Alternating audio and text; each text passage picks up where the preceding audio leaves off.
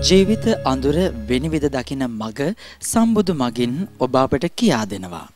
අදත් මේ සූදානම් වෙන්නේ පෙළදම් කතිකාව වැඩසටහන ධර්ම දේශනාමය පින්කම ආරම්භ කරන්නට. ඔබ අප වෙනුවෙන් ඒ යහපත් මාර්ගය පෙන්වා දෙන්නට අප කෙරෙහි මහත් වූ අනුකම්පාවෙන් සදහම් දේශනා කරන්නට මේ පරිශ්‍රයට වැඩම කොට වදාළ පූජ්‍යපාද කෝර්ලයාගම සරණතිස්ස ස්වාමින්ද්‍රයන් වහන්සේ අපි ගෞරව නමස්කාර පූර්වකව පිළිගනිමු. අවසරයි අපේ හාමුදුරුවනේ. සාදු සාදු සාදු. මිතුරන් ලෙසින් සෑමදාම ආන්ගේ ජීවිතයේ වැදගත් සන්දිස්ථානවලදී බොහෝ දෙනා ඒකරාශී වෙනවා. එලෙසින්ම තවත් බොහෝ දෙනාට යහපත් මාර්ගයේ වෙනුවෙන් ආරාධනා කරමින් ඒ අයටද පින් කරගන්නට බොහෝ පිරිසක් ආරාධනා කරනවා.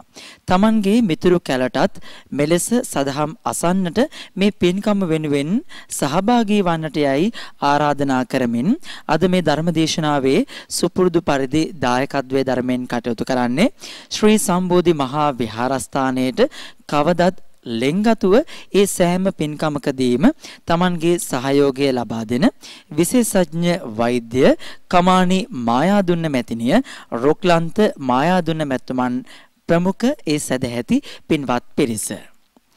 එසේනම් අපේ දේශකයන්න් වහන්සේට ගෞරව නමස්කාර පූර්වකව ආරාධනා කරමු. අප සැම කෙරෙහි මෙත් සිතින් සදහම් දේශනා කරන්නට. ඊට පෙර අපි සියලු දෙනා තිසරණ සහිත ආජීවාෂ්ටමක ශීලය සමාදන් වීමට සාදුනාදයක් පවත්වා තෙවරක් নমස්කාරය කියමු. අවසරයි අපේ හාමුදුරුවනේ. සාදු සාදු සාදු. නමෝ තස් භගවතු අරහතු සම්මා සම්බුද්දස්ස. නමෝ තස් භගවතු අරහතු සම්මා සම්බුද්දස්ස. නමෝ තස් භගවතු අරහතු සම්මා සම්බුද්දස්ස. බුද්ධං සරණං ගච්ඡාමි. බුද්ධං සරණං ගච්ඡාමි. ධම්මං සරණං ගච්ඡාමි. ධම්මං සරණං ගච්ඡාමි සංඝං සරණං ගච්ඡාමි සංඝං සරණං ගච්ඡාමි ဒ ුතියම්පි බුද්ධං සරණං ගච්ඡාමි ဒ ුතියම්පි බුද්ධං සරණං ගච්ඡාමි ဒ ුතියම්පි ධම්මං සරණං ගච්ඡාමි ဒ ුතියම්පි ධම්මං සරණං ගච්ඡාමි. ဒ ුතියම්පි සංඝං සරණං ගච්ඡාමි. සංඝං සරණං ගච්ඡාමි. තතියම්පි බුද්ධං සරණං ගච්ඡාමි තතියම්පි බුද්ධං සරණං ගච්ඡාමි. තතියම්පි ධම්මං සරණං ගච්ඡාමි. තතියම්පි ධම්මං සරණං ගච්ඡාමි. තතියම්පි සංඝං සරණං ගච්ඡාමි.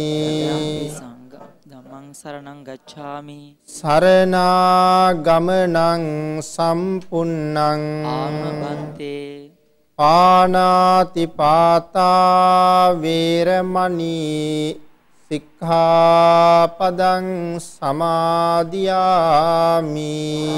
පාතා වේරමණී සික්ඛාපදං සමාදියාමි. අදින්නාදානා වේරමණී සික්ඛාපදං සමාදියාමි. අදින්නාදානා වේරමණී සික්ඛාපදං සමාදියාමි. කාමේසු මිච්ඡාචාරා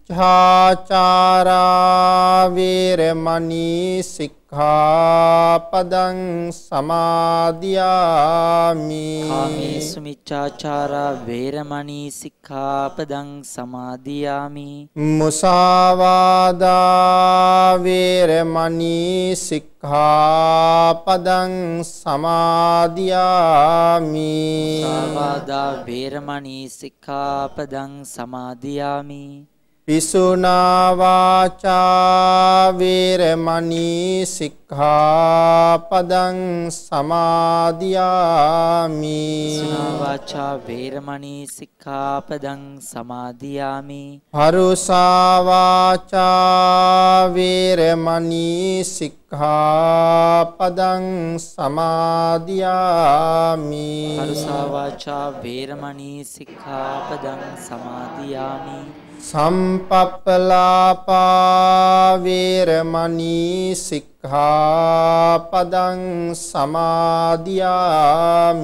සම්ප්‍රප්පලාපා වේරමණී සික්ඛාපදං සමාදියාමි මිච්ඡා ආජීවා වේරමණී සික්ඛාපදං සමාදියාමි. චාජීවා වේරමණී සික්ඛාපදං සමාදියාමි. තිසරණේන සද්දින් ආජීව අට්ඨමක සීලං ධම්මං සාදුකං සුරක්කිතං කତ୍වා අප්පමාදේන සම්පාදේ තබ්බං ආත්මබන්තේ සාදු සාදු සාදු. සමන්තා චක්ඛවාලේසු අත්‍රා ගච්ඡන්තු දේවතා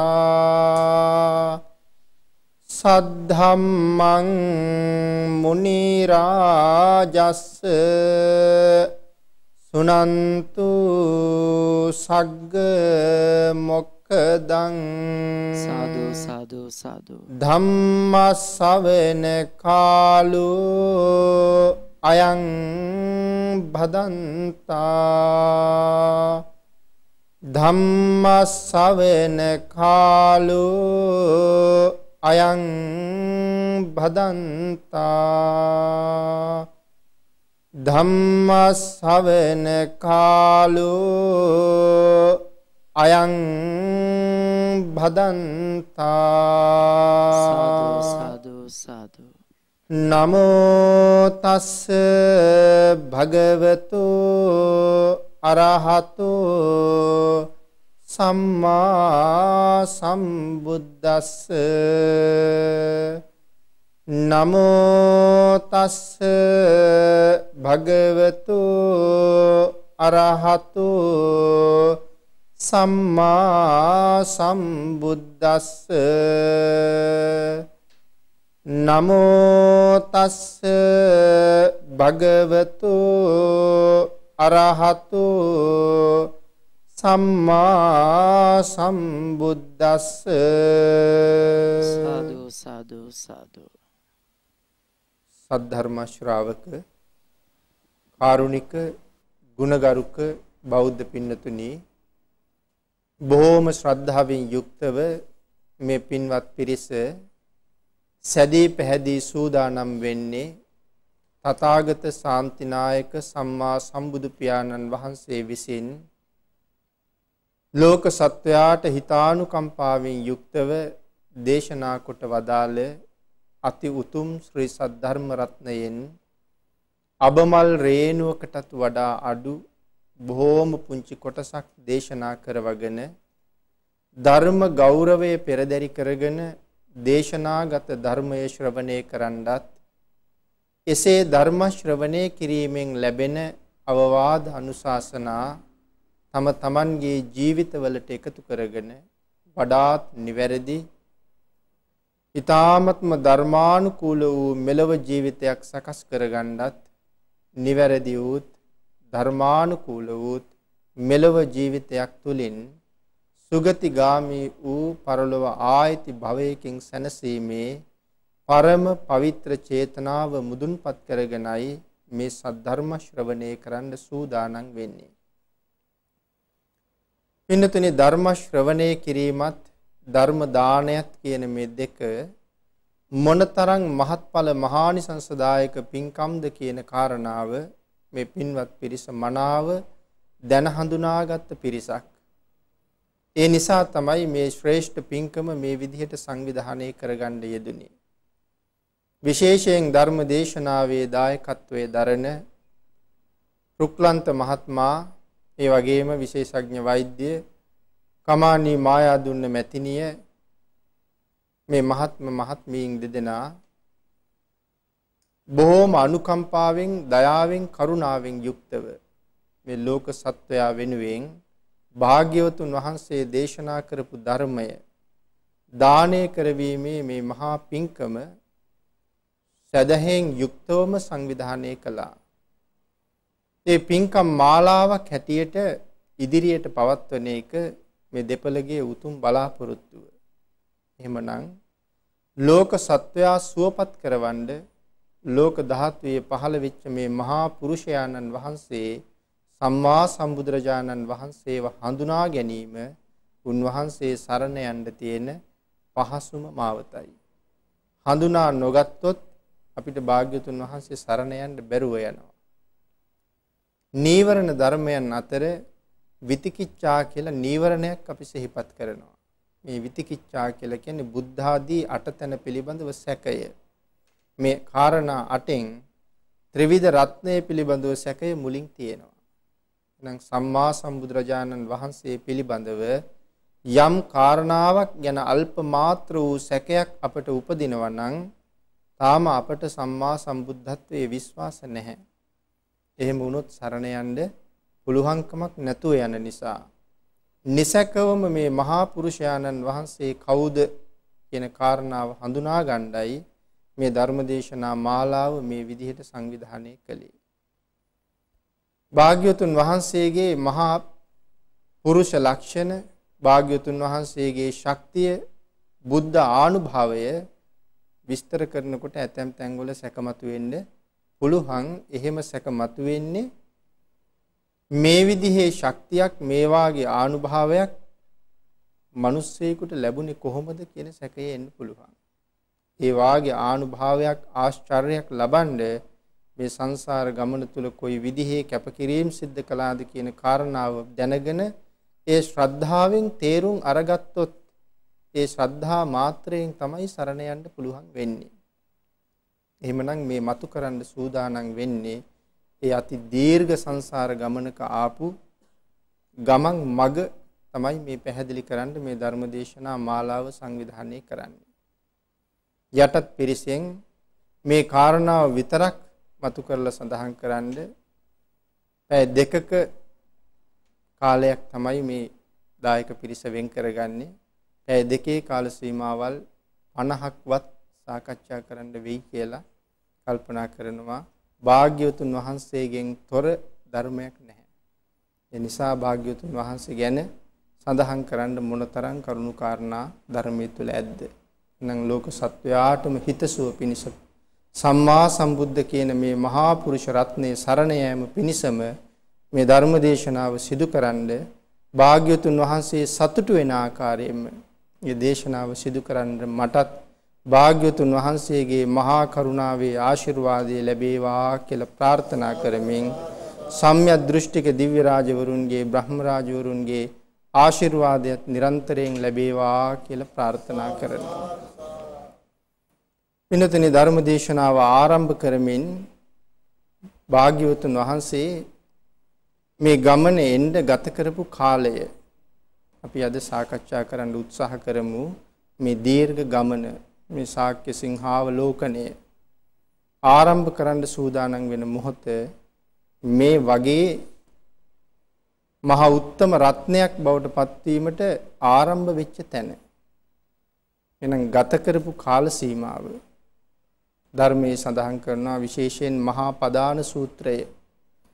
දීඝනිකායේ මහා පදාන සූත්‍රයේ ඒට කරුණු කාරණා සඳහන් වෙනවා මේ දීර්ඝ කාලයේ පිළිබඳව. මහා පදාන සූත්‍රයේ සඳහන් කාරණත් එක්ක මහා කල්ප අසංඛ්‍ය 20යි ලක්ෂ එකක්. මේ සංසාර ගමන. සම්මා සම්බුද්ධත්වයේ වෙනුවෙන් එන ගමන මහා කල්ප අසංඛ්‍ය 20යි ලක්ෂ එකක්. එහෙමනම් මේ මහා කල්පය අපි කොහොමද හඳුනාගන්නේ? අපි කොහොමද තේරුම් ගන්නේ? භාග්‍යවතුන් වහන්සේගේ දේශනාව හැටියට මේ එක මහා කල්පයක් ඇතුලේ අන්තර් කල්ප කියලා පුංචි පුංචි කල්ප 256ක් තියෙනවා. මේ එක අන්තර්කල්පයක් ඇතුලේ දවස් 365 මනුස්ස වර්ෂය කොච්චර තියෙනවද කියන කාරණාව පැහැදිලි කරලා තියෙන්නේ අභිදාන ප්‍රදීපිකා ටීකාවේ. ගණනක් හැටියට සිහිපත් කරනවා ඒ තුල තියෙන මනුස්ස වර්ෂ ගාන අසංඛ්‍ය 86 ලක්ෂ 40000ක් කියලා. අසංඛ්‍ය 86 ලක්ෂ 40000ක්. මේ කාරණාව අපි බොහොම පරිස්සමෙන් සාකච්ඡා කරමු සිතේ ධාරණය කරගන්න අවශ්‍ය නිසාම. එහෙමනම් අසංඛ්‍යයක් කියන්නේ කොච්චර කාලයක්ද? අනන්තය කියලා කියන්නේ සීමාවක් නැති නිසා. අසංඛ්‍ය කියලා කියන්නේ සංඛ්‍යාවක් නැති නිසා. අසංඛ්‍යයේ සීමාව දක්වන්නේ සීමාව දක්වන්න පුළුවන් කමක් නැහැ. උදාහරණ වලින් සඳහන් කරනවා ධර්මයේ මහා මේරු පර්වතය. අපි දැකලා නැහැනේ කවුරුවත්. ධර්මයේ තමයි මහා මේරුව ගැන සඳහන් කරන්නේ. ඉතින් අපි දකින්නේ නැත්තේ මේ මහා මේරු පර්වතයේ දර්ශනය වෙන්නේ අභිඥාලාභීන්ට විතරයි. සාමාන්‍ය කෙනෙකුට දැකගන්න බෑ. අභිඥා තියෙන කෙනෙකුට විතරයි මහා මේරු පර්වතය දකින්න පුළුවන්. මහා මේරු පර්වතය, කුණාල පොකුණ, චද්දන්ත විල, අනවතප්ත විල, උතුරුකුරු දෙවයින මේවා දකින්න පුළුවන් අභිඥාලාභීන්ට. ඒ නිසා මේවා ගැන අපට මේවා ගැනත් සැක පහළ වෙනවා මේ ධර්මයේ සඳහන් කරන මේ මහා මේරු පර්වතය කොහෙද තියෙන්නේ කියලා. මෙහෙමත් සැකමත් වෙනවා. මහා මේරු පර්වතයේ තියෙන නිසා භාග්‍යතුන් වහන්සේ දේශනා කළේ අභිඥාලාභීන්ට විතරයි පේන්නේ. උස ප්‍රමාණයේ ධර්මයේ සඳහන් කරනවා යොදුන් 168000යි කියලා. මහා මේරු පර්වතයේ උස යොදුන් 168000යි. යොදුනක් කියලා කියන්නේ 70ක්ම 16ක්.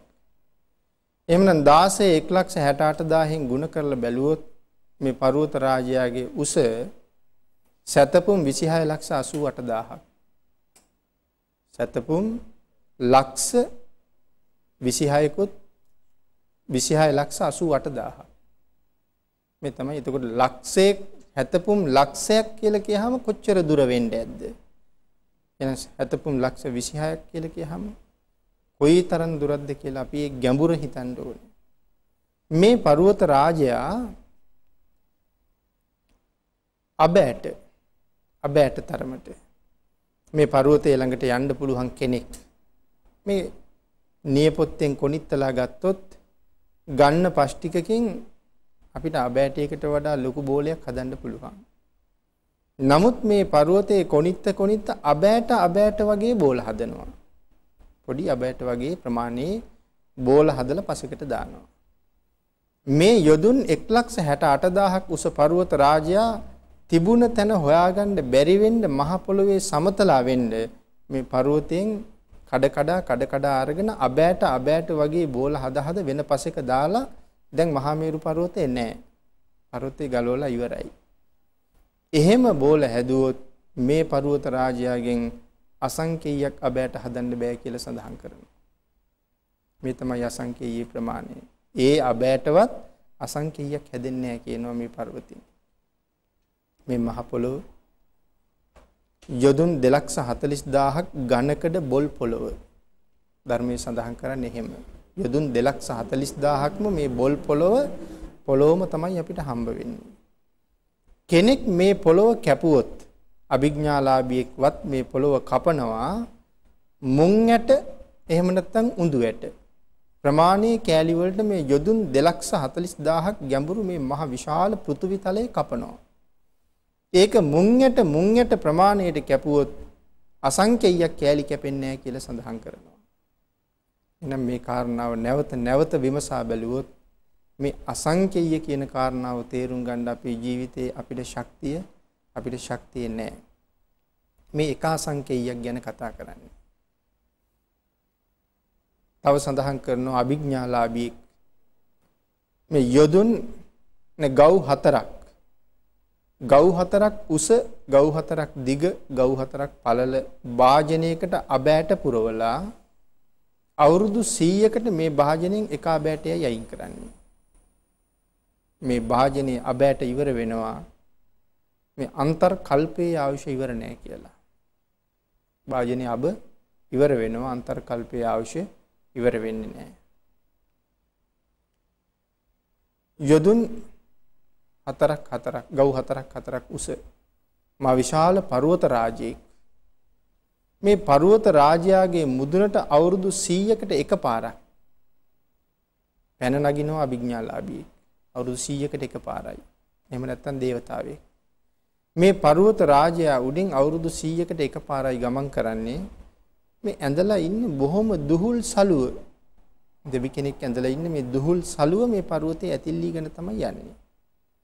මේ පර්වතය ගෙවෙන්න කොච්චර කල්යයිද අවුරුදු 100කට සැරයක් මේ දුහුල් ඇඳුම ඇතිල්ලිලා. සඳහන් කරනවා පර්වතේ ගෙවෙනවා. මහ පොළොවට සමතලා වෙනකම් පර්වතේ ගෙවෙනවා. එහෙම ගිහිල්ලත්. එහෙම ගෙවෙන්න කොච්චර කල්යයිද අන්තර්කල්පයකට ඊට වඩා අවශ්‍යයි කියලා අන්තර්කල්පය පිළිබඳව සඳහන් කරනවා. එහෙමනම් ඒ අන්තර්කල්පය තුල අර වාගේ අසංඛ්‍ය තියෙනවා. 86 ලක්ෂ 40000ක් කියලා ධර්මයේ සඳහන් කරනවා මේ අන්තර් කල්පයක් අවශ්‍ය. එතකොට මහා කල්පයේ ඇතුලේ මෙවන් අන්තර් කල්ප තියෙනවා 256ක්. අසංඛ්‍ය 86 ලක්ෂ 40000කින් මනුස්ස වර්ෂ වලින් පොහසත් වෙන අන්තර් කල්ප 256ක් මහා කල්පයේ ඇතුලේ තියෙනවා. ඒ වාගේ මහා කල්ප අසංඛ්‍ය 20ක් දැන් ආයෙත් අසංඛ්‍යය කරනවා. ඒ වාගේ මහා කල්ප අසංඛ්‍ය 20කුත් ලක්ෂ එකක් තමයි මේ සම්මා සම්බුද්ධත්වය හොයාගෙන එන ගමන. මේ කාල සීමාව තුළ සම්මා සම්බුදුරජාණන් වහන්සේලා මුණ ගැහෙනවා 512027 නමක්. ලෞතුරා බුදුරජාණන් වහන්සේලා හැබැයි මේ ලෞතුරා බුදුරජාණන් වහන්සේලා ළඟ ළඟ පහළ වුණාද? ළඟ ළඟ පහළ වුණේ නැහැ. ශූන්‍ය කල්ප ඕන තරම් තියෙනවා. ශූන්‍ය කල්ප බුද්ධ ශූන්‍යයි. බුදුවරු පහළ වෙන්නේ එහෙම ශූන්‍ය කල්ප මේ අතර ඕන තරම් තියෙනවා අපි 512027 දෙනා අතර. එහෙමනම් සම්මා සම්බුද්ධත්වයේ ලබන්න යම් දවසක බ්‍රහ්ම රාජ්‍යයක් දැනුවත් කිරීම නිසා අදිෂ්ඨාන පහල කරගත්තා නම් මම සම්මා සම්බුද්ධත්වයේ ලබනවා. ඒ කාරණාව අපි ඉදිරියට සාකච්ඡා කරන්න තියෙන කාරණාවක්. මාතු පෝසක ජාතක කතාව අපි යම් ප්‍රමාණයකට අහලා තියෙනවා. මව සමග වෙළඳාම යන වෙලාවේ නැව් නැගලා දවස් 7ක් සාගරේ තරණය කරගෙන යනකොට ඇතිවෙන මහා කුණාටුවක් නිසා නැව මුහුදුපත් වෙනවා. මුහුදුපත් වුණ වෙලාවේ අම්මා හොයාගෙන මේ තරුණයා තමන්ගේ මෑණියන් ජීවත් කරවන්න ඕන නිසා මව කරේ තියාගෙන ගොඩබිමක් හොයාගෙන පීනන්න තීරණය කරනවා. ඉතින් මේ පීනන්න තීරණය කරන්නේ බොහෝම නිසංසලව තියෙන සාගරයේ එහෙම නෙවෙයි. අපි අහලා තියෙන්නේ සාගරයේ මැදට ගියාම රැලි නැති බවනේ. රැලි නෑ නිකම්ම ජල කඳ තියෙනවා. එහෙම සාගරයක නෙවෙයි මේ පීනන්න සූදානම් වෙන්නේ. මහා කුණාටුවක් තියෙන වෙලාව. රළ ගෙඩි අහසට නැගලා බිමට කඩා වැටෙන වෙලාව. මේ වාගේ රැලි උඩ පීනනකොට උන්වහන්සේ අම්මත් අරගෙන රැල්ලෙන් ඉහළට කොච්චර විසි වෙලා ආපහු ජල කඳ උඩ වැටෙන්න ඇද්ද? මේ ජල කඳට බහින්නේ මේ මේ සාගරයේ ඉන්න මහ භයානක සත්තු මෝරු වාගේ මිනිස්සු අහුවෙච්ච ගමන් ගිලින භයානක සත්තු ඉන්නවා. ඒ සත්තු ජීවත් වෙන මහා ගැඹුරු දියට මේ බැහැලා ඉන්නේ. මේ වාගේ රළ ගෙඩි පෙරලෙන භයානක සත්තුන්ගෙන් පිරිච්ච මේ සාගරයයි අම්මත් අරගෙන තරණය කරන්න තීරණය කරන්නේ. ඉතින් මේ තීරණය කරලා මේ යන ගමන දැකලා මහා බ්‍රහ්ම රාජයෙක් තීරණය කරනවා මේ වාගේ මහා පුරුෂයන්ට තමයි සම්මා සම්බුද්ධත්වයේ ලබන්න පුළුවන්. මේ මොන වීරියක්ද මේ තෙර පරක් පේන්නේ නැහැ මේ සාගරේ. හතර දිබ්බාගෙම බැලුවට මහා ජලකඳ අහසත් සමග ගැටෙනවා පේනවා මිසක් ගොඩබිමක් පේන්නේ ගොඩබිම කොයි පැත්තේද ඇත්තේ කියලා හිතන්න පුළුවන් කමක් නැහැ. නමුත් එක පැත්තක් දිහා බලාගෙන පීනනවා සමහරට ඒක දියඹටම වෙන්නත් පුළුවන්. එසේ වෙතත් ගොඩබිම කියලා හිතාගෙන පීනන නිසායි මේ බ්‍රහ්ම රාජයා කල්පනා කරන්නේ මේ මහා පුරුෂයෙක් මහා වීරයවන්තයෙක් මෙවන් වීරයවන්තයන්ට සම්මා සම්බුද්ධත්වයේ ලබන්න පුළුවන් කියලා මේ මනසට සිතුවිල්ලක් ඇතුල් කරනවා. ඒ සිතුවිල්ලත් එක්ක තමයි තීරණය කරන්නේ මම දවසක බුදු වෙනවා කියලා. එහෙමනම් මවගෙන් නියත විවරණ අරගෙන මේ එන ගමන් රටාව තුල මනෝ ප්‍රනිධාන වාක් ප්‍රනිධාන කාය වාක් මනෝ ත්‍රිවිධ ප්‍රනිධානය සම්පූර්ණ කරන කාල සීමාව තමයි මේ මහා කල්ප අසංඛ්‍ය 20යි ලක්ෂයක ධර්මයේ සඳහන් කරනවා මහා කල්පය. මහා කල්පය නැසෙනවා. මහා කල්පය නැසෙන කාල සීමාවක් එනවා මහා කල්පේ නැසෙනවා කියලා කියන්නේ බුද්ධ රාජ්‍යම නැසෙනවා එක බුදුරජාණන් වහන්සේ නමගේ රාජ්‍ය බවට පත් වෙන්නේ සක්වලවල් කෝටි ලක්ෂයක්. බුද්ධ රාජ්‍ය කියන්නේ සක්වලවල් කෝටි ලක්ෂයක්. සක්වලක් කියලා කියන්නේ ලෝක 31ක්. රූපී අරූපී බ්‍රහ්ම ලෝක 20ක් සමග දිව්‍ය ලෝක 6ක් අපායවල් 4ක් මනුස්ස ලෝක 1ක්. මේ සක්වලට එක ඉරයි පායන්නේ. මේ ලෝක 31 එළිය කරන්ඩ එක ඉරයි පායන්නේ. එයින් නිරය මහනිරය කියන කොටස් වලට ඉර එළිය වැටෙන්නේ නැහැ. ලෝකාන්තරික මහනිරය කියන ප්‍රදේශයට ඉර එළිය වැටෙන්නේත් නැහැ. ලෝකාන්තරික මහනිරය පිහිටන්නේ මේ සක්වලින් පිටපැත්තේ.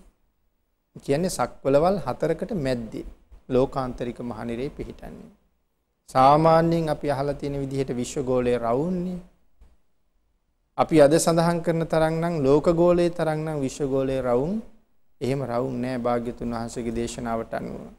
කෙසේ වෙතත් යම් හැඩයක රවුමක් තියෙන නිසා මේ රවුම් වස්තුන් හතරක් එකට අල්ලගත්තොත් කොහොමත් මැද්දේ සිදුරක් ඉතුරු වෙනවා. රවුම් හතරක් එකතු කරාම සිදුරක් ඉතුරු වෙනවා. මෙන්න මේ සිදුර සක්වලවල් හතරක් එකතු වෙන තැන යොදුන් 8000ක 8000ක සිදුරක් ඉතුරු වෙනවා කියලා සඳහන් කරනවා භූමියක්. මෙන්න මේ භූමියේ තමයි ওই ලෝකාන්තරික මහනිරේ පිහිටන්නේ. කවදාවත් ඉරේලිය වැටෙන්නේ නැහැ. ඒ නිසා කෑලි කපන්න පුළුවන් තරම් අන්ධකාරයි. අවීචි මහනිරේ ගැන එහෙම හිතුවොත් ගිනි එළියවත් තියෙනවා. නමුත් ලෝකාන්තරික මහනිරය අතිශයින්ම අඳුරුයි කියලා සඳහන් කරනවා. ඉරේලිය වැටෙන්නේ නැහැ. එහෙනම් මේ අනික් ලෝක වලින් අපායවල වලට ඉරේලිය වැටෙන්නේ නැහැ. අපායවල වලින් විශේෂයෙන් මේ නිරය කියන කොටසට. තිරිසං ලෝකය, പ്രേත ලෝකය, අසුර ලෝක මේ ලෝකය ආශ්‍රය කරගෙන පවතිනවා. කෙසේ වෙතත් මේ සක්වලකට පායන්නේ එක ඉරයි එක හඳයි. සම්මා සම්බුද්ධ රාජ්‍ය ඇතුලේ ඉරවල් පායනවා කෝටි ලක්ෂයක්. හඳවල් පායනවා කෝටි ලක්ෂයක්. සමහර වෙලාවට මේ බුද්ධ රාජ්‍යයෙන් පිටපැත්තේ මේ මොහොතෙත් සම්මා සම්බුදුරජාණන් වහන්සේ නමක් වැඩ ඉන්න පුළුවන්. මේ කෝටි ලක්ෂයට පිටපැත්තේ මේ මොහොතෙත් සම්මා සම්බුදුරජාණන් වහන්සේ නමක් පහළ වෙලා ධර්ම දේශනා කරනවා වෙන්න පුළුවන්.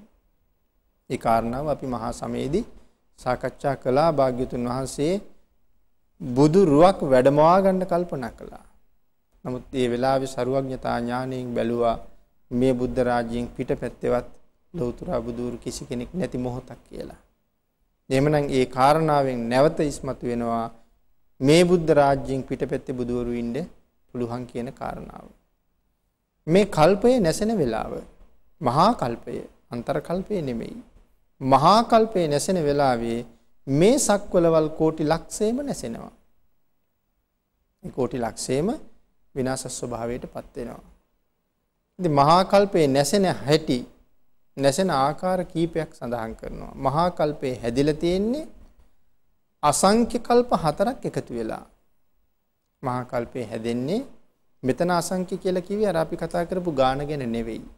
අසංඛ්‍ය කල්ප එක අසංඛ්‍ය කල්පයක් ඇතුලේ තියෙනවා අන්තර් කල්ප 64ක්. අසංඛ්‍ය කල්පයක් ඇතුලේ අන්තර් කල්ප 64යි. අසංඛ්‍ය කල්ප හතරක් එකතු වෙච්චහම මහා කල්ප එකයි. එහෙම නැත්නම් මහා කල්පයේ ඇතුලේ අසංඛ්‍ය කල්ප හතරක් තියෙනවා. එක අසංඛ්‍ය කල්පයක් ඇතුලේ අන්තර් කල්ප 64ක් තියෙනවා.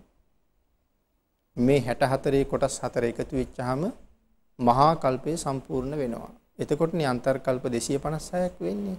64 වරක් 4 256යි. එහෙමනම් මිනිස්සු ජීවත් වෙන කාලය නැත්නම් ලෝකයේ පවතින කාලය අන්තර්කල්ප 64යි. මිනිස්සු පවතින්නේ ලෝකයේ පවතින්නේ අන්තර්කල්ප 64යි. ඊළඟ 64 ලෝකය විනාශ වෙන කාලය. ටික ටික ටික ටික විනාශ වෙමින් යනවා. එහෙම විනාශ වෙමින් යනවා අන්තර්කල්ප 64ක්ම. ඒ කියන්නේ අසංඛ්‍ය කල්පයක්ම විනාශ වෙනවා. අසංඛ්‍ය කල්පයක් පවතිනවා. ඒ පවතින අසංඛ්‍ය කල්පයේ සඳහන් කරනවා ධර්මයේ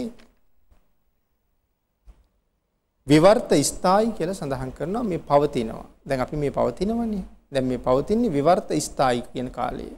ස්ථාපිතව පවතිනවා අන්තර්කල්ප 64ක්. ඊළඟට විනාශ වෙන කාලය සංවෘත කාලය. සංවෘත කාලයේ විනාශ වෙමින් පවතිනවා. අන්තර්කල්ප 64ක් විනාශ වෙනවා. විනාශ වෙලත් පවතිනවා අන්තර්කල්ප 64ක්. ඒ කාලයේ සඳහන් කරනවා සංවෘත ස්ථායි කියලා. ඒ කියන්නේ විනාශ වෙලා පවතින මොකවත් නැහැ. ඊර හඳවත් නැහැ. විනාශ වෙලා පවතිනවා තවත් අන්තර්කල්ප 64ක්. ඊළඟ අන්තර්කල්ප 64 ලෝකේ ආපහු හැදෙනවා. ඒකට කියනවා විවර්ත කල්පය. ආයි හැදෙනවා. විනාශ වෙන එක සංවෘත, හැදෙන එක විවර්ත. දැන් තමයි කොටස් හතර. අසංඛ්‍ය කල්පයක් පවතිනවා, අසංඛ්‍ය කල්පයක් විනාශ වෙනවා, අසංඛ්‍ය කල්පයක් විනාශ වෙලා තියෙනවා, අසංඛ්‍ය කල්පයක් නැවත කල්පේ හැදෙනවා. මේ කොටස් හතර එකතු වෙච්චාම තමයි මහා කල්පේ සම්පූර්ණ වෙන්නේ. එහෙමනම් මහා කල්ප විනාශයේ පටන් ගන්නවා අන්තර්කල්ප 64කින් පස්සේ. විනාශ වීම පවතිනවා. විනාශ වීම ආරම්භ වෙනවා, විනාශ වෙලා තියෙනවා. එතනින්ලා විනාශ වෙච්ච එක හැදෙන්න පටන් ගන්නවා. ඉතින් මේ විනාශ වෙන හැටි ධර්මයේ සඳහන් කරනවා ගින්නෙන් හත් වාරයක් විනාශ වෙනවා කියලා. විනාශ වෙනකොට ගින්නෙන් විනාශ වෙනවා හත් වාරයක්. ගින්නෙන් විනාශ වෙන්නේ මිනිස්සුන්ගේ රාගය උත්සන්න වෙච්ච නිසා. රාගය උත්සන්න වෙච්චහම ගින්නෙන් විනාශ වෙනවා. නැවත සඳහන් කරනවා ජලයෙන් එකපාරක් විනාශ වෙනවා. ගින්නෙන් හත් පාරයි ජලයෙන් එකපාරයි. ජලයෙන් විනාශ වෙන්නේ ද්වේෂය උත්සන්න වෙච්ච නිසා.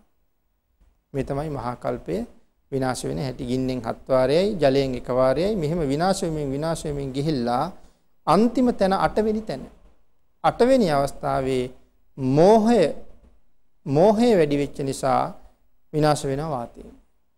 ගින්නෙන් හත් පාරයි ගින්නෙන් හත් වතාවක් විනාශ වෙච්චාම ජලයෙන් එකපාරක් විනාශ වෙනවා. නැවත ගින්නෙන් හත් පාරක් විනාශ වෙච්චාම ජලයෙන් එකපාරක් විනාශ වෙනවා.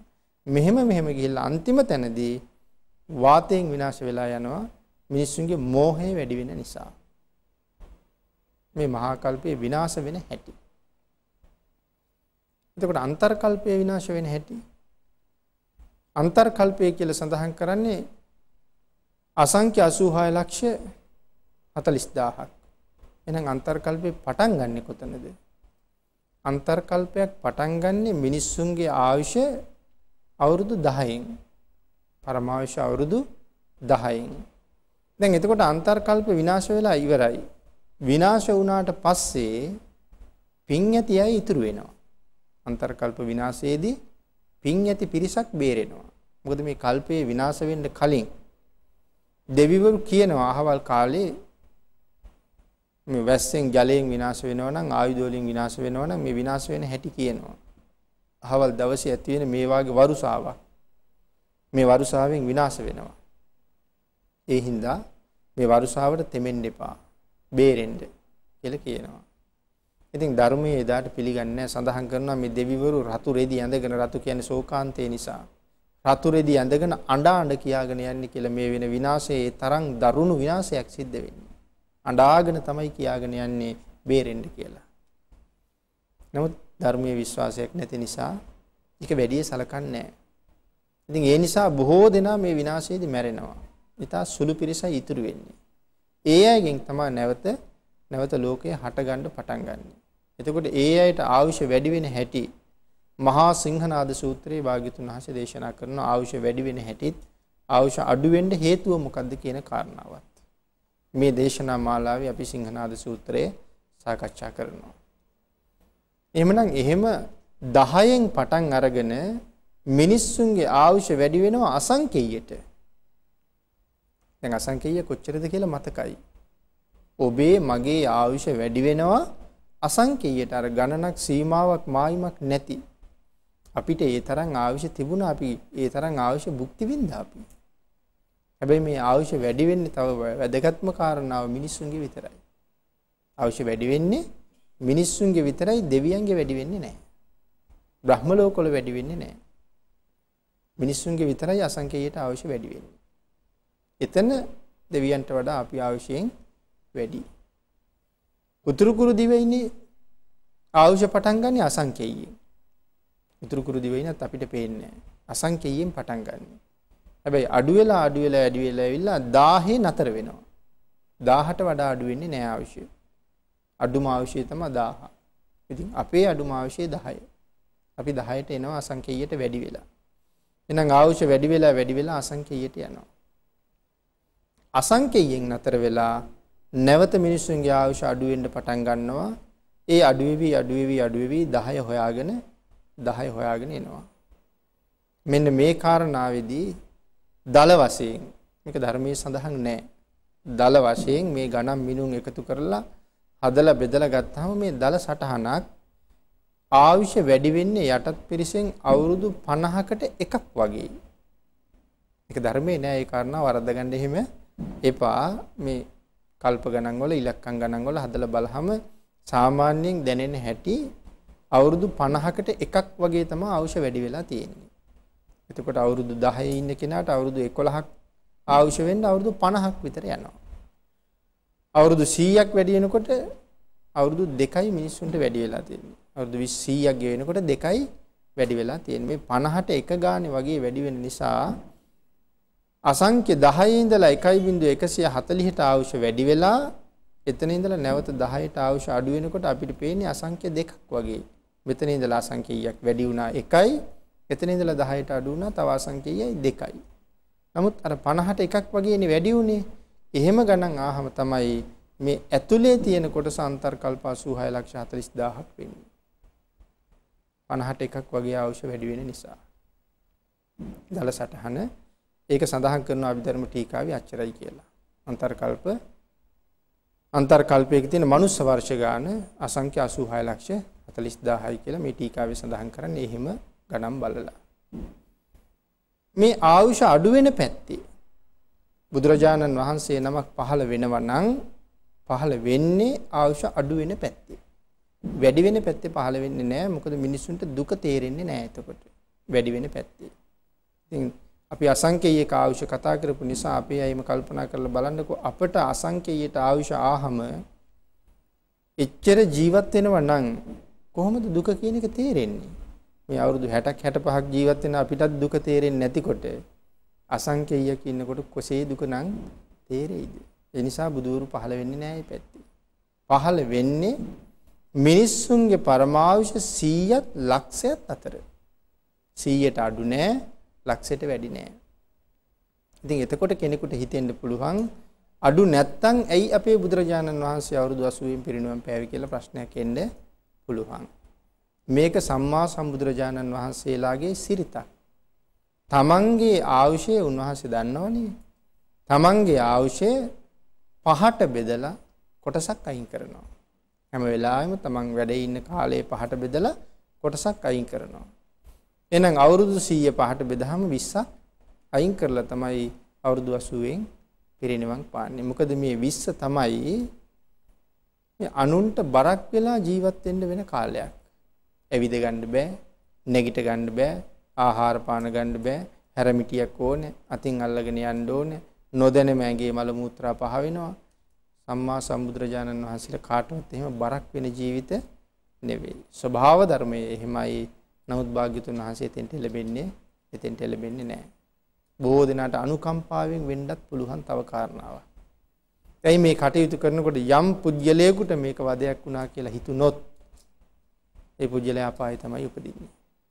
මේ හින්දා අනුකම්පා කරනවා වෙන්නත් පුළුවන් මෙතන.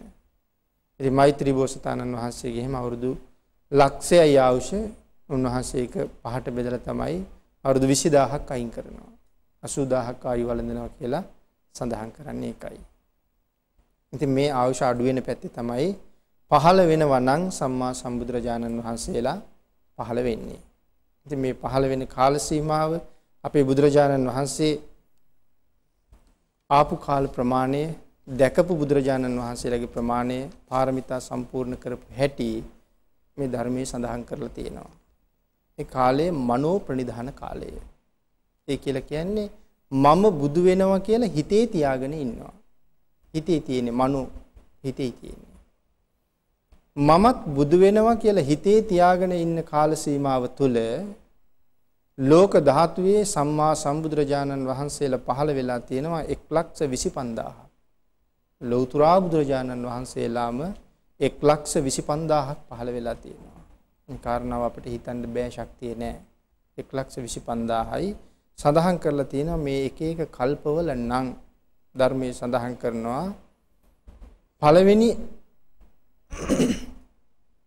මහා කල්ප අසංඛ්‍ය 7ක්නේ මහා කල්ප අසංඛ්‍ය 7ක් තමයි මනෝ ප්‍රනිධානය.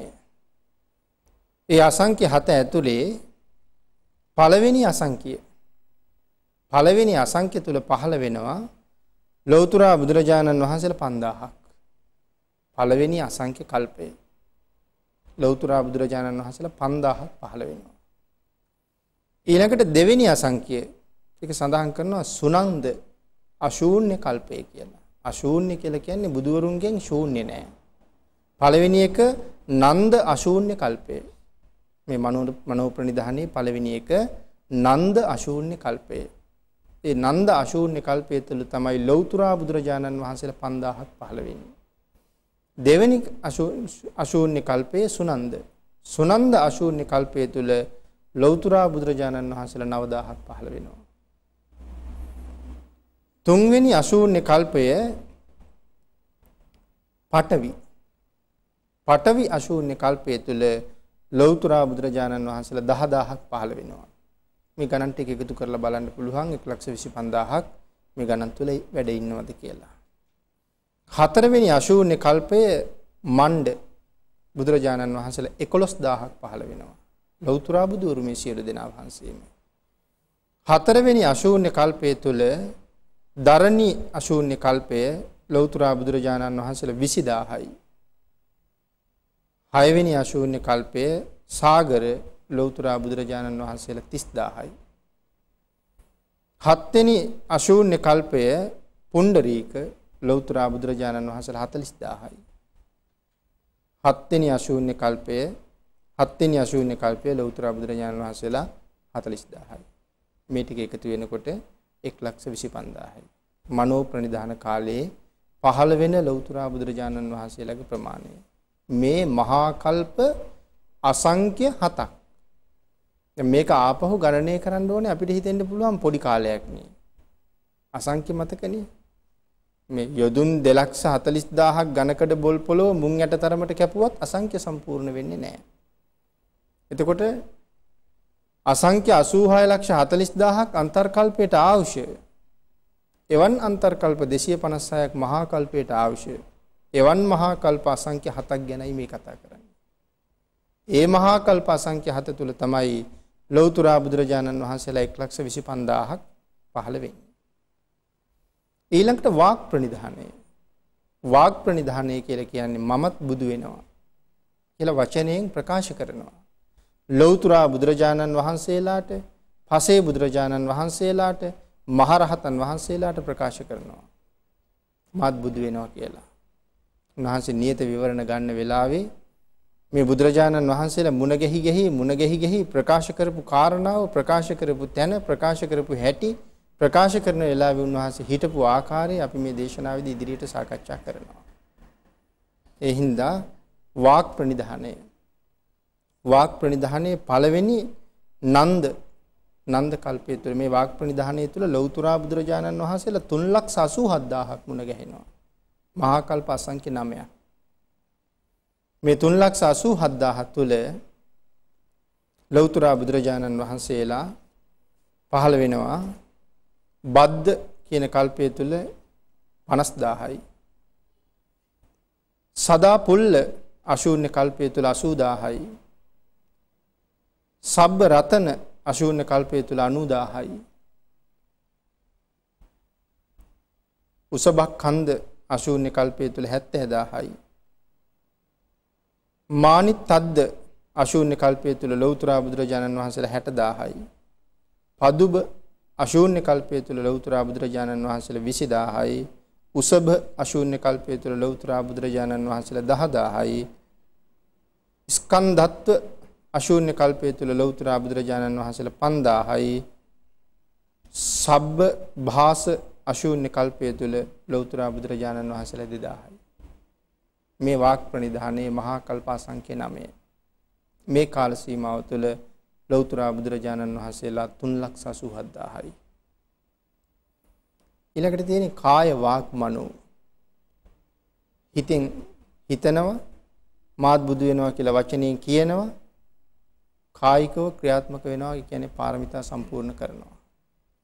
මේ කාල සීමාව තුළ ලෞතර බුදුරජාණන් වහන්සේලා ලෝකෙ පහළ වෙනවා 27 නමක්. 125000යි 387000යි 512000යි. 512027ක් නෙමේ කාලය තුල. එහෙනම් තව අඩු 27 නමක් විතරයි. නියත විවරණය ලබා ගන්නවා දීපංකර බුදුරජාණන් වහන්සේගෙන්. ඒ කාරණාව ආශ්චර්යයි මේ බෝසතාණන් වහන්සේලා එන ගමන. අපේ බුදුරජාණන් වහන්සේ අන්තිම ස්ත්‍රී ආත්මයේදී අන්තිම ස්ත්‍රී ආත්මය. එයින් පස්සේ කවදාවත් ස්ත්‍රීත්වයේ උපදින්නේ නැහැ. අන්තිම ස්ත්‍රී ආත්මයේදී උන්වහන්සේට දීපංකර බුදුරජාණන් වහන්සේ මුණ ගැහෙනවා. ඒ කාලේ දීපංකර බුදුරජාණන් වහන්සේ පුරාණ දීපංකර බුදුරජාණන් වහන්සේගෙන් නියත විවරණ ගත්ත කාලේ. පුරාණ දීපංකර බුදුරජාණන් වහන්සේගේ ආශ්චර්ය දැකලා තමයි මේ භික්ෂූන් වහන්සේ තීරණය කරන්නේ මුන්වහන්සේ වගේ ලෞතර බුද්ධත්වයේ මාත් ලබන්න ඕනේ. උන්වහන්සේට පුරාණ දීපංකර බුදුරජාණන් වහන්සේට ජීවිතේ පූජා කරනවා. ජීවිතේ පූජා කරලා තමයි උන්වහන්සේ ගාව නියත විවරණ ඉල්ලගන්නේ. ස්වාමීනි මමත් ඔබ වහන්සේ වගේ බුදු වෙනවා කියලා ප්‍රකාශ කරන්නේ. උන්වහන්සේගෙන් විවරණ අරගෙන එතන ඉඳලා උන්වහන්සේ වෙනුවෙන් පහන් දැල්වනවා. භාග්‍යතුන් වහන්සේ වැඩ ඉන්න කාලේ පුරාණ දීපංකර බුදුරජාණන් වහන්සේ පහන් දහස් ගණන් උන්වහන්සේ වෙනුවෙන් පූජා කරනවා. එක දවසක් පහන් පත්තු කරන්න තෙල් නැහැ. තෙල් නැති නිසා රජමාලිගාවට යනවා. පින්ඩපාති ගියා තෙල් ලබන්න තෙල් හම්බුන්නේ නැහැ. රජමාලිගාවට යනකොට රජමාලිගාවේ හත්වෙනි මහලේ ඉන්නවා සුරූපී තරුණියක්. ඒ තරුණිය දකිනවා භික්ෂුන් වහන්සේ නමක් වඩිනවා. සේවිකාවකට කියලා කියනවා භික්ෂුන් වහන්සේ නමක් වැඩිය ගිහිල්ලා බලන්න. ඒ වෙලාවේ සේවිකාව ඇවිල්ලා කතා කරලා ගිහිල්ලා කියනවා ආර්යාවිනි උන්වහන්සේ තෙල් සිඟාගෙනයි වැඩලා තියෙන්නේ. අප්‍රමාණ ප්‍රීතියටපත් වෙලා ඝන රත්තරන් භාජනයකට අබතෙල් අරගෙන භික්ෂූන් වහන්සේ ළඟට ගිහිල්ලා පාද දෝවණය කරලා උන්වහන්සේගේ පාද සම්බාහනය කරලා මේ අබතෙල් ඝන රංග භාජනයේ තියෙන අබතෙල් උන්වහන්සේගේ පාත්‍රයට පිළිගන්නවා. පිළිගන්වලා ප්‍රකාශයක් කරනවා ස්වාමීනි මගේ සහෝදරයාට ගිහිල්ලා කියන්න උන්වහන්සේට පහන් දල්වන්න ඔබ වහන්සේට අද අබතෙල් පූජා කරලා මමත් ලෞතර බුදු බව පැතුවා කියලා. එතකොට පුරාණ දීපංකර බුදුරජාණන් වහන්සේගේ ඥාති සහෝදරියක් මේ. නිසයි කියන්නේ මගේ සහෝදරයන්න්ට ගිහිල්ලා කියන්න. මේ කාරණාව ගිහිල්ලා මේ භික්ෂුන් වහන්සේ මතක් කරනවා. උන්වහන්සේත් නියත විවරණ ඉල්ලා තියෙන දීපංකර නමින්ම බුදු වෙන්නයි. ඒ විවරණේ එහෙමම භාග්‍යතුන් වහන්සේ ලබා දෙනවා. ගිහිල්ලා කියන්න මගේ සහෝදරයාට. ඒක ගිහිල්ලා මතක් කරනවා. ස්වාමීනි ඇය මට සිද්ධිරස්තු තෙල් පූජා කෙරුවා. සිද්ධිරස්තු කියලා කියන්නේ අබ තෙල් වලට. සිද්ධිරස්තු පූජා කරලා ප්‍රාර්ථනාවක් කළා සිද්ධිරස්තු පූජා කරන පිනෙන් ඇයට බුදු වෙන ආත්මේ සිද්ධාර්ථ කියන නම ලැබෙන්න කියලා. ස්වාමීනි ඇයට බුදු වෙන්න පුළුවන් ද කාන්තාවක් හැටියට කියලා ඇහුවා. ඒ වෙලාවේ භාග්‍යතුන් වහන්සේ ප්‍රකාශ කරනවා මහන මෙතන ඉඳලා මහා කල්ප අසංඛ්‍ය 16ක් ගත වෙච්ච තැන ඔබේ ප්‍රාර්ථනාව මුදුන්පත් වෙනවා. ඔබ දීපංකර නමින් සම්මා සම්බුද්ධත්වයට පත් වෙනවා මහා කල්ප අසංඛ්‍ය 16කින්. එදාට ඒ දීපංකර බුදුරජාණන් වහන්සේගෙන් මගේ සහෝදරිය නියත විවරණ ලබනවා සිද්ධාර්ථ ගෞතම නමින් සම්මා සම්බුදු වෙන්න. එහෙමනම් මේ කාය වාක් මනෝ කියන මේ ත්‍රිවිධ ප්‍රනිධානය සම්පූර්ණ කරන දවසේ ඉස්සරලාම නියත විවරණ ගන්නේ දීපංකර බුදුරජාණන් වහන්සේගෙන්. ගෞතම සම්මා සම්බුදුරජාණන් වහන්සේ මේ බුදුරජාණන් වහන්සේලා සියලු දෙනාම අති සුවිශේෂයි මේ අතර ඊතා සුවිශේෂී බුදුරජාණන් වහන්සේ නමක්. මෛත්‍රී බුදුරජාණන් වහන්සේ ලක්ෂ 4ක් සම්මා සම්බුදුරජාණන් වහන්සේලාගෙන් නියත විවරණ ගන්නවා. නමුත් සිද්ධාර්ථ ගෞතම බුදුරජාණන් වහන්සේ 24 නමකකින් විතරයි නියත විවරණ ගන්නේ තරම් ප්‍රඥාවන්ත බුදුරජාණන් වහන්සේ නම. ඒ ප්‍රඥාව බුදුවරු අතර අපට සීමා කරන්න බෑ. නමුත් අති වාග්ය සම්පන්න මොහතක් බුදුවරු 24කින් නියත විවරණ අරගෙන තමයි සම්මා සම්බුද්ධත්වයට එන්නේ. එමනම් ඒ කාරණාව අපි බොහෝම කෙටියෙන් සිහිපත් කරමු කාල සීමාවත් ගෙවිලා තියෙන නිසා දීපංකර සම්මා සම්බුදුරජාණන් වහන්සේගෙන් නියත විවරණ ගන්න වෙලාව මේ අවස්ථාවේ මේ කාල සීමාව තුළ මහා කල්ප අසංඛ්‍ය 4 ලක්ෂ 1 පහළ වෙන බුදුරජාණන් වහන්සේලා තණ්හංකර බුදුරජාණන් වහන්සේ මේදංකර බුදුරජාණන් වහන්සේ සරණංකර බුදුරජාණන් වහන්සේ දීපංකර බුදුරජාණන් වහන්සේ. මේ කල්ප අසංඛ්‍යය තුල පහළ වෙන බුදුරජාණන් වහන්සේලා. ඒ අතර කල්ප අසංඛ්‍යයක් තියෙනවා ශූන්‍ය කාලයක්. කල්ප අසංඛ්‍යය එකක් බුදුවරු නැහැ. ඒ කියන්නේ දීපංකර බුදුරජාණන් වහන්සේගෙන් පස්සේ කොණ්ඩඤ්ඤ බුදුරජාණන් වහන්සේ පහළ වෙන අතරතුර. කල්ප අසංඛ්‍යයක් බුදුවරු නැහැ. කොණ්ඩඤ්ඤ බුදුරජාණන් වහන්සේගෙන් පස්සේ මංගල සුමන රේවත සෝබිත කියන සම්මා සම්බුදුරජාණන් වහන්සේලා පහළ වෙනවා. උන්වහන්සේලා හතර නම පහළ වෙන අසංඛ්‍ය කල්පයත් කොණ්ඩඤ්ඤ සම්මා සම්බුදුරජාණන් වහන්සේගේ කාල සීමාවත් අතර තවත් කල්ප අසංඛ්‍යයක් අශූන්‍යයි බුදුවරු නැහැ. සෝබිත බුදුරජාණන් වහන්සේගෙන් පස්සේ අනෝමදස්සී බුදුරජාණන් වහන්සේ ගාවට එනකොට කල්පාසංඛ්‍යයේ එකක් බුදුරජාණන් වහන්සේලා නැහැ. ශූන්‍යයි. අනෝමදස්සී බුදුරජාණන් වහන්සේ පදුමු පදුම බුදුරජාණන් වහන්සේ නාරද බුදුරජාණන් වහන්සේ මේ බුදුරජාණන් වහන්සේ තුන්නවගෙන් පස්සේ නාරද බුදුරජාණන් වහන්සේගේ ඉඳලා පදුමුත්තර බුදුරජාණන් වහන්සේ ගාවට එනකොට කල්පාසංඛ්‍යයේ එකක් බුද්ධ ශූන්‍යයි. නාරද පදුමුත්තර බුදුරජාණන් වහන්සේගේ ඉඳලා සුමේද බුදුරජාණන් වහන්සේ ගාවට එනකොට කල්ප 69000 69999ක් බුද්ධ ශූන්‍යයි. කල්ප 69999ක් බුද්ධ ශූන්‍යයි. අසංඛේයයක් නෑ ඊට වඩා අඩුයි. කල්ප 69999ක් බුද්ධ ශූන්‍යයි. සුජාත බුදුරජාණන් වහන්සේගෙන් පස්සේ පහළ වෙන්නේ පියදස්සී කියන බුදුරජාණන් වහන්සේ. පියදස්සී බුදුරජාණන් වහන්සේ සුජාත බුදුරජාණන් වහන්සේත් පියදස්සී බුදුරජාණන් වහන්සේත් අතර මහා කල්ප 28199ක් මේ මහා කල්පවල බුද්ධ ශූන්‍යයි. 28199ක් බුද්ධ ශූන්‍යයි. පියදස්සී බුදුරජාණන් වහන්සේ අත්තදස්සී ධම්මදස්සී කියන බුදුරජාණන් වහන්සේලා තුන් නම පහළ වෙනවා. ධම්මදස්සී බුදුරජාණන් වහන්සේ ඉඳලා සිද්ධාර්ථ කියන බුදුරජාණන් වහන්සේ ගාවට එනකොට කල්ප 23 කෝටි 1 ලක්ෂ 705ක් බුද්ධ ශූන්‍යයි.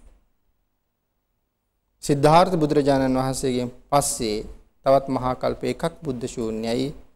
තිස්ස පුස්ස කියන බුදුරජාණන් වහන්සේලා ඊට පස්සේ පහළ වෙනවා. මේ සියලු දෙනා වහන්සේගෙන් අපි බුදුරජාණන් වහන්සේ විවරණ ගන්නවා. 19 වෙනි විවරණය අරගන්නවා විපස්සී කියන බුදුරජාණන් වහන්සේගෙන් එතන ඉඳලා මහා කල්ප 59ක් බුද්ධ ශූන්‍යයි. විපස්සී බුදුරජාණන් වහන්සේගේ ඉඳලා සිකී බුදුරජාණන් වහන්සේ ගාවට එනකොට මේ අතර කාලයේ මහා කල්ප 59ක් බුද්ධ ශූන්‍යයි. සිකී සහ වෙස්සබු කියන බුදුරජාණන් වහන්සේලා දෙනම ඊළඟට පහළ වෙනවා. උන්වහන්සේලා දෙනමගෙන් පස්සේ කකුසඳ බුදුරජාණන් වහන්සේ ගාවට එනකොට මහා කල්ප 30ක් තියෙනවා. එහෙනම් කකුසඳ බුදුරජාණන් වහන්සේ මේ භද්‍ර කල්පයේ පහළ වෙන පළවෙනි බුදුරජාණන් වහන්සේ. මහා කල්ප 30කට පස්සේ කකුසඳ කෝණාගම කාශ්‍යප ගෞතම මෛත්‍රී කියන සම්මා සම්බුදුරජාණන් වහන්සේලා මේ මහා භද්‍ර කල්පයේ පහළ වෙන බුදුරජාණන් වහන්සේලා ප්‍රමාණයයි. මෙතනින් බුදුරජාණන් වහන්සේලා 27 නමක් මුණ ගැහෙනවා උන්වහන්සේට මේ කාය වාක් මනෝ ප්‍රනිධාන කාලය තුල ඒ 27 නමෙන් 24 නමකගෙන් උන්වහන්සේ නියත විවරණ ලබා ගන්නවා සම්මා සම්බුද්ධත්වයේ වෙනුවෙන්.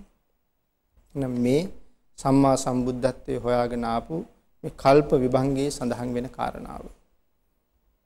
එහෙනම් අපි අදට ධර්ම දේශනාව මෙතනින් නිමා කරනවා.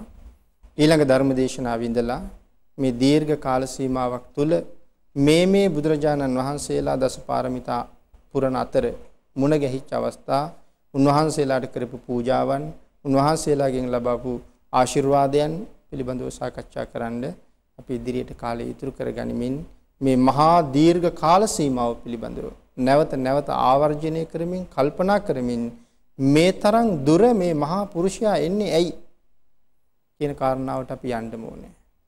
මොන හේතුවක් නිසාද මෙච්චර දුර එන්නේ? කියන කාරණාව කල්පනා කරමින් මහා අබිනීහාරයේ සම්පූර්ණ කරන තැනින් අපිට මේ කාරණාව තව ගැඹුරට දැනෙනවා කියලා මම හිතනවා. මේ සත්වයා සංසාර දුකෙන් එතර කරන්නයි මේ එන්නේ.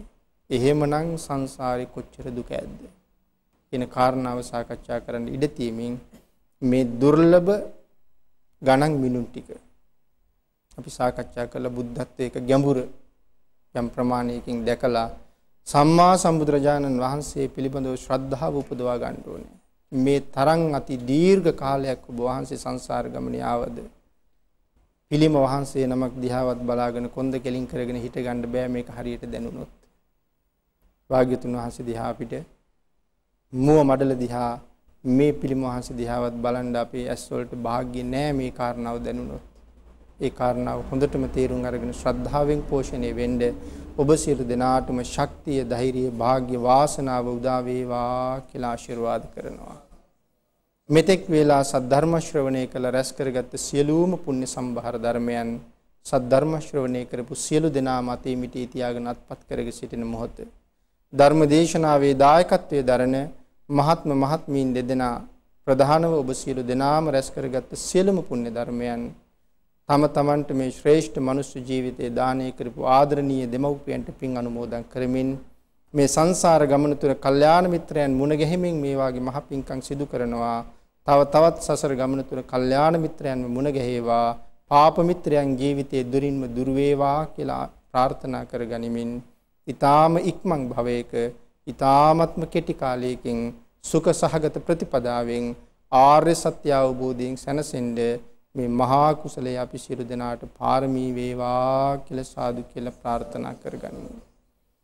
ආකාසට්ඨා ච බුම්මට්ඨා දේවා නාග මහිද්దికා පුඤ්ඤන්තං අනුමෝදිත්වා චිරං රක්ඛන්තු ලෝක සාසනං දේවෝ වස්සතු කාලේන සස්ය සම්පatti හෝතු ච පීතෝ භවතු ලෝකෝච රාජා භවතු ධම්මිකෝ සාදු සාදු සාදු ජීවිතය අවබෝධ කරගන්නට මනස සුවපත් කරගන්නට ගෙවී ගිය පෑයකටත් අධික කාල සීමාව තුළ අපට හැකියාව ලැබුණා. අද ඒ ධර්මයේ අස්වැසිල්ල ඔබ අප කෙරෙහි ළඟා කර දුන්. ගෞරවනීය දේශකයන් වහන්සේ පූජනීය කෝරළයාගම සරණතිස්ස ස්වාමින්ද්‍රයන් වහන්සේ. දේශකයන් වහන්සේට නිදුක් නිරෝගී චිරජීවනයේ සැලසේවායි ප්‍රාර්ථනා කරමින් අද මේ පින්කමේ දායකත්වයේ ධර්මයෙන් කටයුතු කළ විශේෂඥ වෛද්‍ය කමානි මායාදුන්න මැතිණිය රුක්ලන්ත මායාදුන්න මැතිතුමන් ප්‍රමුඛ මේ පැමිණි ඒ කලන මිතුරු සැමටත් උතුම් වූ චතුරාර්ය සත්‍ය ධර්මය අවබෝධ අවබෝධය සැලසේවායි ප්‍රාර්ථනා කරමින් මේ උතුම් වූ ධර්මදේශනාමය පින්කම නිමාවට පත්වන්නේ. සැමට තෙරුවන් සරණයි. සරණ ගච්ඡා